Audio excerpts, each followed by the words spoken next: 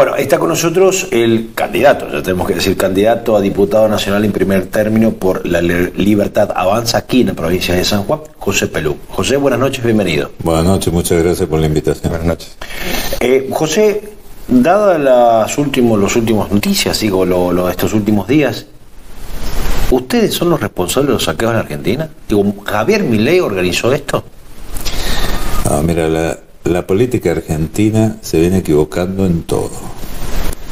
Al otro día de las elecciones ya no hubo más grieta en Argentina. Ya Massa se sacó una foto con la reta, ya se quiere, se terminó la grieta. Ya nadie habla de la grieta. Es fantástica la, la política en Argentina. Mientras tenían el país dividido en dos, alimentaban la grieta de ambos lados. Salió una tercera fuerza y los pasó a primer lugar, se acabó la grieta. Ahora tenés ley de alquileres, la culpa es de mi ley, mi ley es malo, mi ley es esto, mi ley es lo otro. Muchachos, no les ha funcionado nada. Aumentó el dólar, la culpa era de mi ley por haber votado así. Se dieron cuenta que no daban resultado y retrocedieron. Ya nadie habla del aumento del dólar, Ahora le echan la culpa a Javier Milei de, los saqueos. pero por favor, sí. A ver, todo el mundo sabe, todo el mundo los ve, que son las mismas organizaciones que vienen estando haciendo saqueos toda la vida y lo han dicho los mismos referentes de algunas organizaciones, que son ellos los que lo organizan. Eh, no les va a funcionar esto. Y lo que menos va a funcionar es salir a mostrarse de la forma que se están mostrando, que ya por poco no hacen un solo partido entre los dos frentes. Algo que veníamos anunciando hace muchos años nosotros. Son más de lo mismo. Ahora, eh, eh, ¿ustedes son realmente el cambio? ¿Le sacaron el argumento de a Juntos por el Cambio? La gente se dio cuenta que lo otro era más de lo mismo los vio gobernar en los últimos tiempos a los dos sectores y la gente se dio cuenta que era más de lo mismo y no le solucionaba el problema a la gente. Pero ellos sí se les solucionaban los problemas. Entonces yo creo que la gente solo fue a poner el título de cambio, porque la verdad que nunca lo habíamos usado, éramos la libertad avanza desde el 2021 que Javier había salido a, a ser candidato. Ahora, eh, sobre ese sentido, si, me permitís gastar un segundo, Durán Barba, conductor político estrella de Mauricio Macri en su momento durante su presidencia, salió de alguna manera a apoyar este cambio, en todo caso, que propone la Libertad Avanza y decir que Juntos por el Cambio sería como un segundo producto, una segunda marca, cual supermercado en momentos de crisis, ¿eh? y que la nueva primera marca es mi ley y la libertad avanza. ¿Vos lo observás así? Digo, ¿es lo que estás manifestando? No hay segundas marcas. Ninguno de los dos frentes que eran mayoritarios hasta hace un par de domingos atrás solucionaron el problema a la sociedad. Perdió la esperanza en el peronismo, que siempre lo solucionaba, y perdió la esperanza en aquel que traía los brotes verdes y toda la historia. Entonces, solo se ubica en el podio Javier Milei porque te dice cómo va a solucionar los problemas. Mirá hasta dónde llega la infamia en la política que discuten en la, Universidad Nacional de San Juan la escuela pública, la educación pública o no pública. ¿Quién habló de privatizar las universidades? Por favor, que están discutiendo. ¿Por qué enfrascan cerebros de esta manera? Digo, hay que discutir lo real. ¿Cuántos amigos o conocidos o parientes tenemos que no pueden estudiar medicina porque lo da una universidad privada? El voucher te va a permitir ir a esa universidad privada a estudiar lo que vos querés estudiar. ¿Cuál es el daño que se le provoca? ¿Que van a tener que administrar mejor? Y sí, van a tener que administrar mejor. Nosotros en la Universidad Nacional de San Juan tenemos 18 mil millones de presupuesto en un total de 31 mil alumnos estoy sumando hasta los alumnos de la secundaria. Los colegios preuniversitarios. Los colegios preuniversitarios. Que no los debería sumar, pero te estoy sumando hasta eso. Cada alumno tiene un costo de 536 mil pesos más o menos.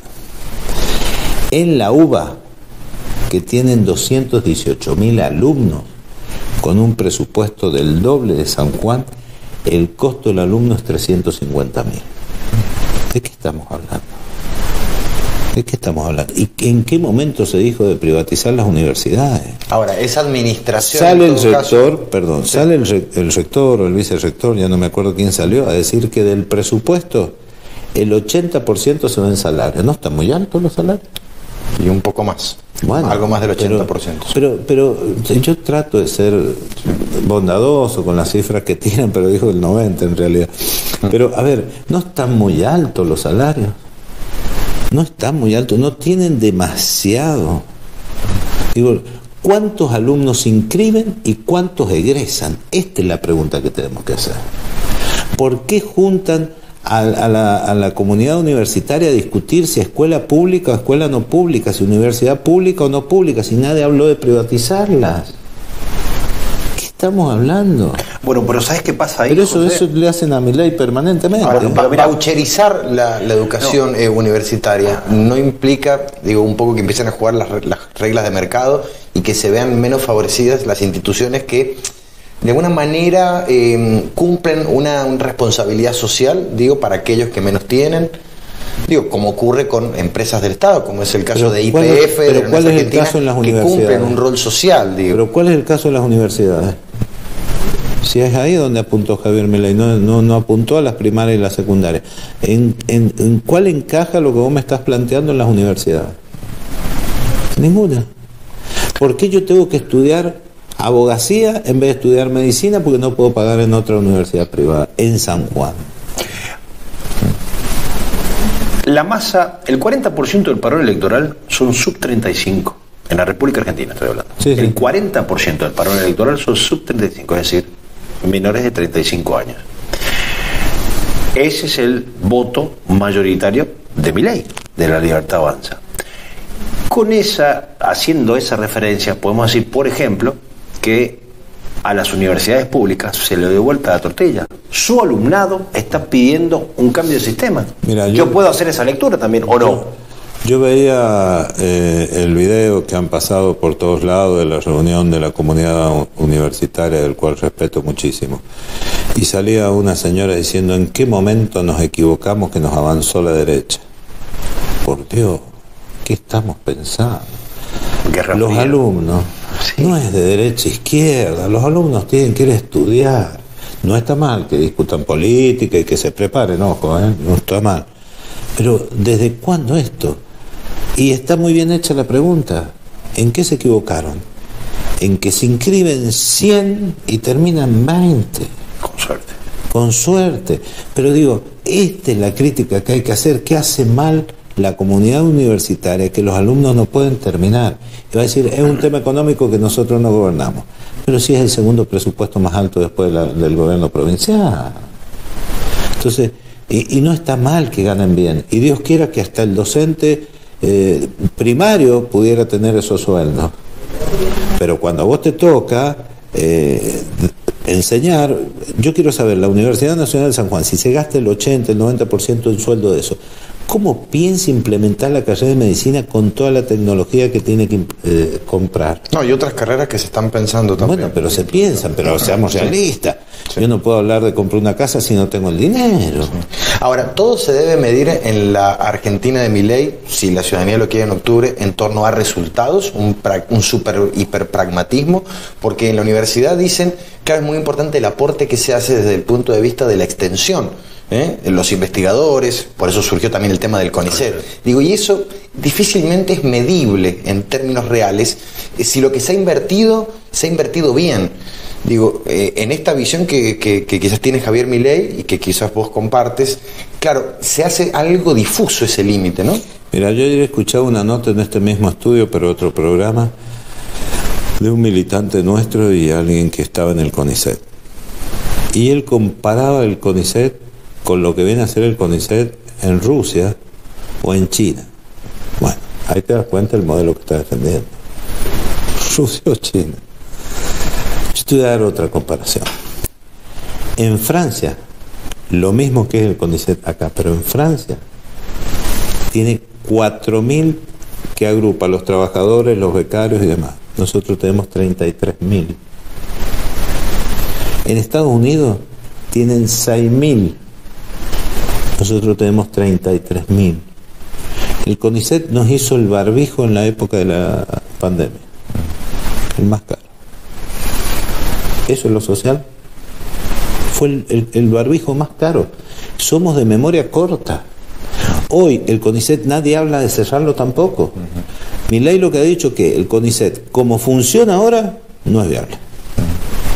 Si se supone que ellos tienen que trabajar para la sociedad, ¿por qué no vendieron un barbijo tan caro?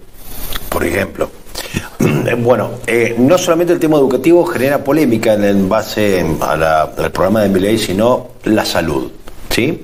Está hablando de eh, una salud un poco más, entre comillas, ordenada. Sí, sí. Ordenada. Eh, automáticamente se prendieron las luces diciendo que se va a privatizar como es en Estados Unidos, que nadie tiene la salud pública, los de mayores o de los más bajos recursos se quedan sin salud. ¿Por qué? Porque va a ser todo como el sistema prepago, que lo tenemos en la República Argentina. Sí, tenemos obras sociales y sistema prepago. Bueno, que todo va a ser así. No.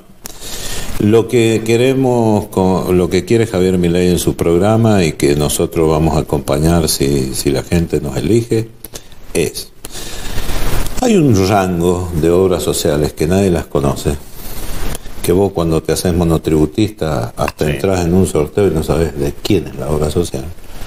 Pero después, si me pasa algo, yo tengo que ir al hospital. Exacto. Y el hospital me tiene que atender gratis. Pero yo le aporté una obra social, José Pelú, que no lo conocía a nadie, y no le está cubriendo al hospital. Entonces, ¿para qué le pagué la obra social? Digo, hay muchísimas obras sociales, no quiero ofender porque después vamos a abrir otra polémica, pero que administran los gremios, que no cumplen la función que tienen que cumplir. Entonces, esto hay que ordenarlo, porque si no son cajas de distintas dirigentes que después no vienen a parar a la gente cuando la necesita. ¿Y por qué el Estado se tiene que hacer cargo de eso? Por supuesto, lo que le falte a, a, ese habitante argentino habrá que cubrirlo del Estado. Pero lo básico, que te lo cubra la obra social. Vos vas a ir al, hospital, por eso él pretende unir desarrollo humano, salud pública y educación.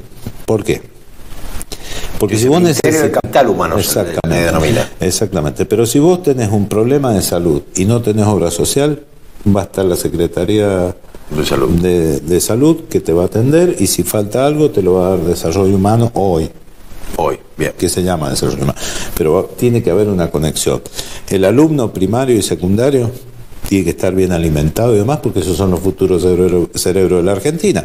Tienen que trabajar en conjunto, educación, salud y, desarrollo humano. Ah, pero tiene una doble direccionalidad esto, digo, porque en un sentido es eficientizar el servicio, pero por otro lado no alimentar cajas políticas de dirigentes gremiales que se nutren de allí. Se terminó la fiesta, no hay más cajas para ningún sector político ni social. La caja es del pueblo. ¿Cómo vamos a, cómo vamos a achicar la cantidad de impuestos que tenemos si no achicamos las cajas de personas?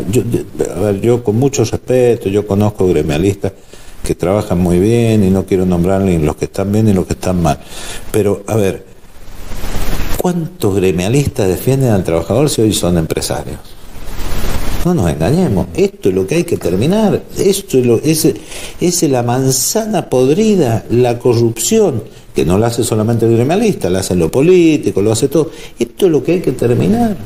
Si no terminamos con esto, es mentira que somos distintos. Ahora, José, eh, para poder terminar con eso, dentro del sistema republicano representativo y federal que tenemos en la República Argentina, ¿sí? necesitas discutir en el Congreso para modificar absolutamente todo. Dada la coyuntura, salvo una sorpresa, eh, va a estar dividido el Congreso por integrantes de la casta, como la denominan ustedes, por los cuales van a tener que coexistir. ¿Cómo entonces ustedes le garantizan al argentino gobernabilidad, siendo gobierno y no teniendo lo que tradicionalmente no hemos visto como sociedad, para que funcione un país tiene que tener mayoría en ambas cámaras. Porque la sociedad va a salir. No digo que va a salir a manifestarse, va a salir a quejarse de alguna manera. Pero mira, yo te doy un ejemplo que lo has vivido hoy. Ajustado quórum, dijiste recién, por el tema de la ley de alquiler. Sí. ¿Quiénes eran los perjudicados? Los que alquilan, el pueblo. Y ese Congreso ha estado cuánto tiempo sin legislar eso. Son una vergüenza. Pero vos decís que los, los congresales argentinos son los, los propietarios de las viviendas que hoy necesitan, digo, los no argentinos para sé, vivir. No sé, la mayoría a lo mejor tiene algunas, pero. pero, pero a ver, no puede ser que a sabienda que un diputado se equivocó en redactar la ley, pero no nos olvidemos que fue votada por unanimidad esa grieta fantasma que nos venden, y después no la quisieron mejorar más hasta el día de hoy con un ajustado voto y que todavía tiene que pasar al Congreso y no sabemos al, al Senado. Y todavía no sabemos qué puede pasar. Digo, esta Argentina en la que se terminó. El domingo dio muestra a la sociedad de que esta Argentina se terminó. Han hecho todo para que Milei pierda. Le han robado votos en todo el país y esta provincia no es la excepción. Sí. Si no, díganme cómo hemos recuperado en, la- en- en el recuento final, eh, en el escrutinio definitivo, 6.000 votos. ¿Ustedes saben lo que son 6.000 votos? Una barbaridad. Un departamento. Si por mesa vota entre, entre, entre 150 y 200, imaginale que la cantidad de votantes. En Angaco tenés 7.000 votantes, casi todo Angaco. Se perdió. Entonces, se, se perdió la urna, ¿qué pasó? Digo, estas son las cosas que van a cambiar en la política argentina porque la sociedad tiene los ojos puestos ahí. Mira, han nacido muchísimas agrupaciones liberales en defensa del león, en muchísimas, ¿eh? en todo el país, donde lo único que hacen es mirar la elección, mirar cómo se comporta el funcionario. Va a cambiar la política, es un cambio de época, es un fin de ciclo. Quienes no se actualicen les va a pasar lo del domingo que quedaron muy lejos de la realidad en votos. Mira, entrando a la recta final de la charla, José, eh, otro de los temas tiene que ver con el sistema de seguridad, eh, de justicia, la policía y el sistema de cárceles, ¿sí? Eh, se, lo compara a Milei con Bukele, ¿sí? El gobernador, el presidente de El Salvador, ¿sí? ¿Es el estilo Bukele el que tienen pensado para, para esa área del gobierno, si llegan a ser gobierno, obviamente? No, no sé si va a ser el estilo Bukele. Lo que sí te puedo asegurar que mi ley no le va a perdonar ni a propios ni ajenos que se corra de la línea. Eso te lo puedo asegurar, igual que Bukele. Javier ha hablado muy claro con nosotros las pocas veces que nos hemos reunido y no le va a perdonar ni a propios ni ajenos no trabajar, ser ñoqui, tomar algo que no es de ellos. Venimos a arreglar el país. ¿A qué nos incluye el kirchnerismo y a Cristina Kirchner? Por supuesto, ¿te cabe alguna duda? Por lo que en, su- en el principio no hablaba mucho Milei sobre Y Cristina. no habla demás, porque pero- no le conviene, porque hoy, ¿para qué va a hablar de ellos si los va a agrandar, si no tienen ni voto? Es, estra- es estratégico, podemos llegar a Claro, pero una vez que vos te sentás en la presidencia, vas a empezar a, a- a investigar todo. Acá no se va a salvar nadie. Ah, van a mirar para atrás. Pero por supuesto, si no la Argentina, ¿cómo se va a arreglar? Esa va a ser, ese va a ser el componente de confianza que van a encontrar en el ciudadano común, por fuera de la casta, digo, para que la apoyatura en el Congreso, Pero que porque van, a gober- van a gobernar hipotéticamente sin Cámara Baja y Cámara Alta y sin provincias. No tienen Y sin gobernadores. intendencias. Y sin intendencia, sí, no hay, ¿no? En el país. No, no, no, no hay ninguna intendencia. No, no, eh, pero a ver, Digo, qué difícil que se hace. Uno, en, No. en el esquema actual, Javier Milei se ve el administrador de la cosa pública, no se ve el, el, el- el- el- el jefe de, de- de- de todos. Javier cuando te habla te dice no me den el poder a mí, yo les quiero dar la libertad que tiene que tener. Te lo dice en cada acto que tiene. Y libremente te vas a ir a GT, los movimientos sociales, a quemar todo. Pero Porque- con qué credibilidad. Si Bueno, pero ustedes van a salir pero- igual. Pero, pero a ver, la Argentina de los últimos años, Sí. ¿quién la ha construido?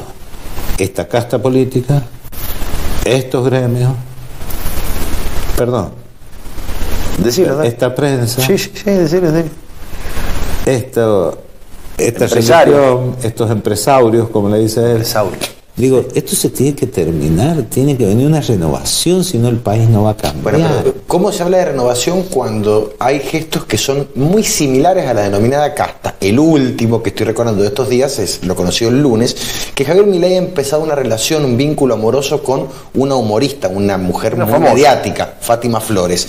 Digo, y muchos que peinan canas miran hacia atrás y dicen, muy parecido a Carlos Menem en su momento, digo, después de, su lema de mis hijos echados, de la Quinta de Olivos, que empezó romances. Empezamos. Bueno, por Dios. Primero, se quejaban porque decían que tenían relaciones hasta con el perro que tenían. No, no. Ahora resulta que porque está de novio también está mal. Pues un ser humano. Pero por Dios, ¿dónde estamos? No es así. Por favor, todo les cae mal. Pero ojo, sí.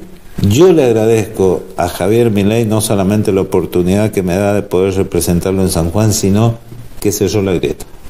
Ya no hay grieta en este país. ¿Y en San Juan? Tampoco, no es que están todos unidos, calladitos. allá. Eh, nunca me pasó de ver una conferencia que no hablaran los candidatos. Nunca en los treinta y pico de años que hago política, por Dios. Nunca me pasó de ver un vocero que hable en nombre de los candidatos. ¿Por qué? ¿Por qué crees que, mira, en, una, en, épocas normales de política, ganas vos la intendencia y todos se te van para allá. Entonces, si vos tenés una elección de medio término, van y te acompañan. ¿Por qué te crees que eso no pasó? Porque hay un fin de ciclo. Todo aquel que no se actualice con este fin de ciclo se va a equivocar. La justicia, la política, los gremios, todo. Mira, ¿sabes quiénes fueron los primeros liberales en San Juan? Los autoconvocados docentes. Esos fueron los primeros liberales en San Juan. Tuvieron la actitud de salir a la calle respetuosamente y reclamar lo que era de ellos. Fueron a jugar el gremio y lo ganaron. Ahora hay que mantenerse. Lo mismo que nos va a pasar a nosotros. Podemos llegar, hay que saberse mantener. Todavía no hemos ganado nada. No hemos ganado las elecciones todavía, hay que esperar el 22 de octubre y todavía no estamos adentro y lo difícil es mantener. Mira, la última, la última, que se nos acabó el tiempo. Eh, ¿Fiscales vas a tener? ¿Van a tener en San Juan? Miren, el tema de fiscales, yo el día que fue a votar les dije en la puerta de la escuela, hemos sido muy austeros en la fiscalización, pero estamos controlando. ¿Por qué crees que pudimos recuperar los 6.000 votos? Pues sabíamos las mesas que teníamos que pedir abrir. ¿Se nos puede haber pasado alguna? sí, sí, bueno, puede pasar. se pasaron algunas porque nos ganaron en una categoría. Pero, a ver, algunos se te puede pasar. Pero, ¿cuál, es, cuál, es, ¿cuál es la, la realidad? Nosotros teníamos 4.000 inscriptos. El viernes empezamos a reunirnos con toda esa masa de gente que no hemos venido teniendo charla a través de WhatsApp y personalmente en otros casos, y vamos a tener fiscales en todas las mesas. Y hay algo que es fantástico, que hay muchísima gente en moto, vamos a tener para, para reponer votos donde sean sustraídos. Y la campaña nuestra va a ser, si lo votás a mi ley, lleva un voto al cuarto oscuro. José Pelú, te agradezco la poner solo. Muchísimas gracias.